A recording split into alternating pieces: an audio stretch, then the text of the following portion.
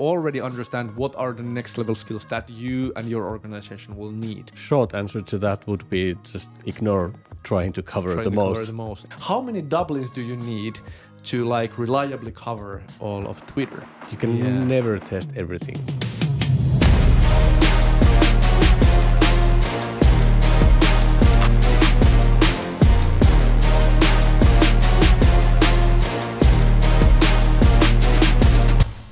So the question of the day: Yeah, the question of the day is how should I test to be able to cover the most? How should I test to be able to cover the most? Yeah, Exciting question. Exciting it question. is. It is.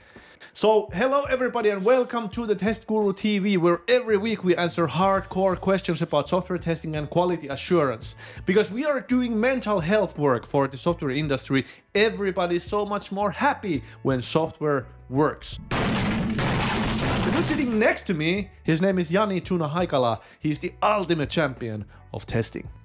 Hello, and here next to me is Antti Niittyviita, a tireless testing advocate, um, a trainer, a public speaker, and an author. Welcome to the show. Welcome to the show.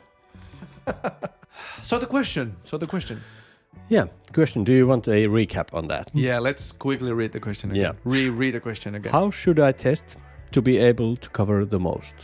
So, how should testing be done? How should I test? So, that's a how to question. Um, and with the idea of coverage.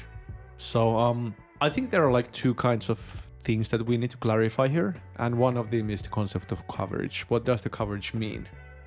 What do you Mhm. And the other one is Um, and then the other one is the the how to because like to me testing is like it's a collection of different kinds of activities, you know, and approaches. So Mhm. um, so I, I think the how to I is think- a collection of yeah, ideas yeah. instead of like step by step instruction. that's a that's a So, good yeah. point. There's to me there's there's also I think a third one.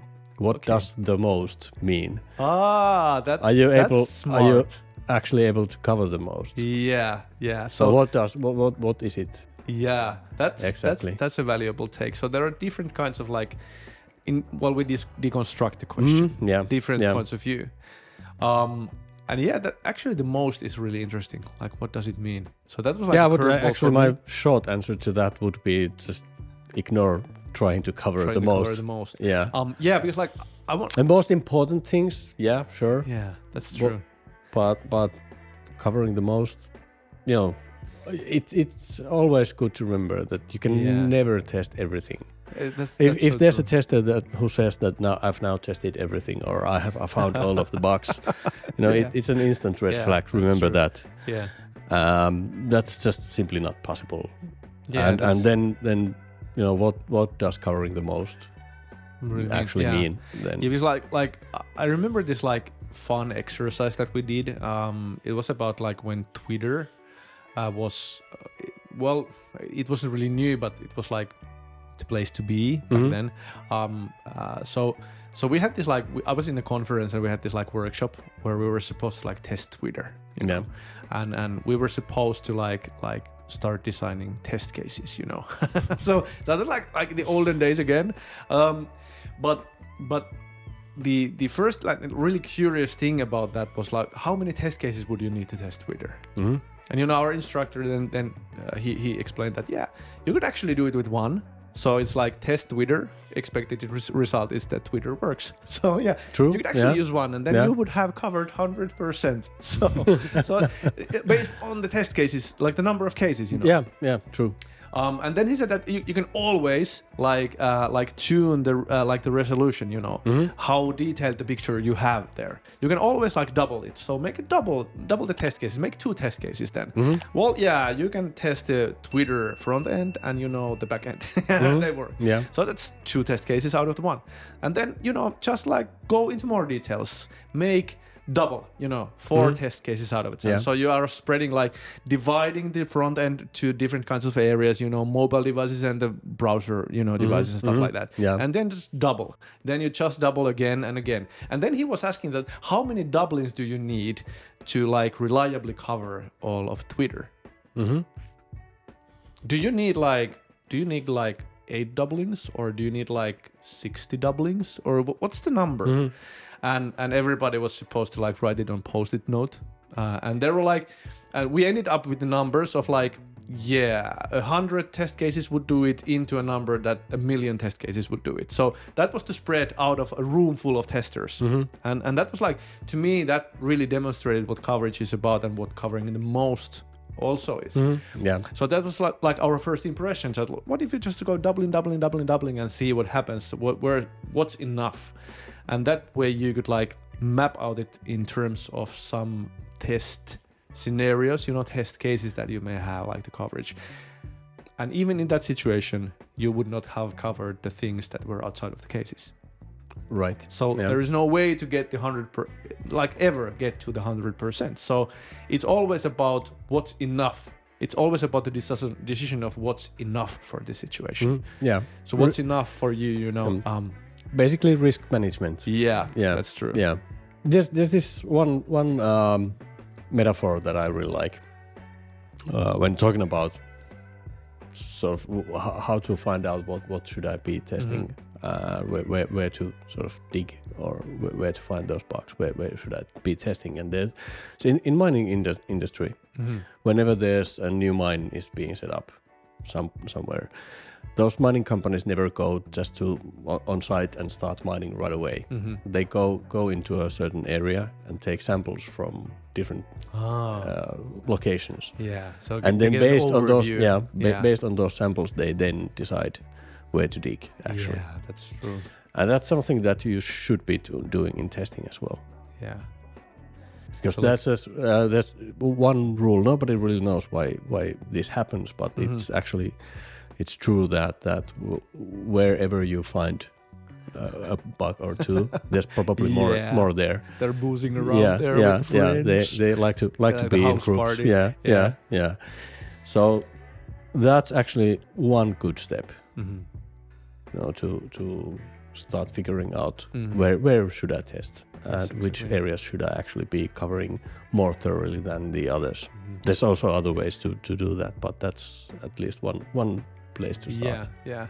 So like co- covering where it seems like there is most value in testing. Exactly. Yeah. Yeah. So just like getting an overview and then making educated decisions based on the overview. Mhm. Where are the critical areas for us to work on next? So it's about like True. it's about like understand deconstructing, you know, what you're testing, Mhm. and then understanding what are the most valuable areas, and then making a priority out of them. So, um, so that's that's how it will go. Um, but then the question of coverage, how does that uh, answer the question of coverage is is like really interesting because like a lot of people like ask me in workshops like, but but how then can we estimate coverage in that kind of situation? So it always goes down down with the question of like Mhm. estimating the coverage, and and you know that ends the discussion easily ends up in a situation where you estimate coverage in terms of test ideas in terms of like amount of risks number of something you know Mhm. And and in this kind of situation where you take samples and you make decisions and you go deep um, the the the i would say the best way to reframe the uh, coverage discussion is to re- uh, reframe it in terms of time spent. And time spent on the areas x y and z you know Mhm. on the categories or whatever it is time spent on the areas you know for example in terms of time boxes pomodoros whatever it is Mhm. so we have spent two days in the area of our like main functionalities in the login and the Paytrail you know and and then we have uh, spent like x amount of days uh, testing this area and stuff like that so Mhm. that would like give an insight into like how our attention has been distributed across what it seems like is the whole of the software Mhm. so so reframing the coverage discussion in, in as a discussion of time management, I would say that's a Right. that's a Yeah, valuable yeah, way to yeah. approach it. And there's obviously, the, I think the mining thing sort of relates to that Yeah. in terms of, of that is one way to figure out where do you want to spend that time. Exactly. Yeah. You know, you And- can actually get an idea of what the different areas are and Mhm. also some idea on wh- which areas should get the most attention. Yeah, and, and, that brings me to like the idea that that also deciding how much time should be invested into sampling, you Mhm, know, overview, Yeah. and how yeah. much time should be invested into deeper dives into Mhm. the areas where you like presume there is like catch, you know, Mhm. the the the the ore, you know, gold or whatever silver you're mining for. Then there's also obviously you can do some just discussion work Yeah. on on but I, I guess this relates to risk management as, as well. What are the most important features? What what do we sort of think are the most important ones? Uh, the ones that we wouldn't really uh, manage without, and also the risk side of it. What what if something goes wrong? What is something that worries us uh, beforehand, or what are the most critical things? What could actually what would be the worst case scenario? That also gives you an idea on on where to spend that time Mhm, That's true. and how to Yeah. cover different areas. Yeah, and then then the I would say if we are doing this uh, like deconstruction, like what what does the most mean, what does the coverage mean here? Then it's the how-to of testing. Um, so I I would say that like going from like the end in mind, going into the practical means of testing. So um. So yeah, I would like first investigate what are our how-tos, what are the ways of testing that we already know of. so so so can you like elaborate for example on with the pen and paper that that these are the ways of testing that we could do uh, this is like our our like toolkit of different approaches so what should we choose as our how to in this kind of mission what should we choose as our how to for like sampling? What should we choose our how to into deep dives into different mm-hmm, areas? Mm-hmm. and then that will give you the answers. So so creating like first the clarity of like this like landscape you're in and and the outcomes you're aiming for and then deciding on what's the practical step. What are the ways of doing it? So mm-hmm. Um and I, I don't have an answer for that because like every organization and every tester has like their own toolkits of how to's. So it has to be decided based on what you already know uh, what you could know next and what you're aiming for like as an outcome Yeah, that's true. Um, and there's like, what what can you actually? What what are your skills? yeah Our available resources in. Yeah. You know. Yeah. That's, yeah and, and acquiring the skills that are missing so Mhm, you know acquiring the skills of like specific kind of api automation or whatever it is you got to acquire the skill either for yourself or you got to hire for the skill Mm-hmm. so it has to be like acquired if there is a mission to be accomplished so that's yeah. al- always that's part of the leadership i would say in testing because like you have to already understand what are the next level skills that you and your organization will need Mm. so And in that case, you sort of also need to understand the the entirety of testing, the different Yeah, areas true. and aspects to it, and different Yeah. viewpoints. what what might be needed, so, so that you don't yeah. actually miss miss anything. So yeah. Yeah, that that's true. Um, so um, does is there anything else that comes to your mind on this question? Um, Um, I think we have covered it pretty well. yeah, Yeah. yeah, Let's do that. yeah. A quick wrap wrap up of the question. question. Um, the deconstruction. There is the how to. There is what coverage coverage means, and then there is the concept of of you know aiming for hundred percent. So um, those are like the different ways to look at this question. Yeah. and also think about the solution so defining what the how to means defining what coverage means and defining what like what is the 100% what it means when you're satisfied with, with the testing so so i would say that's the first step define what different things mean for you That's well put. Don't really have anything to add to that.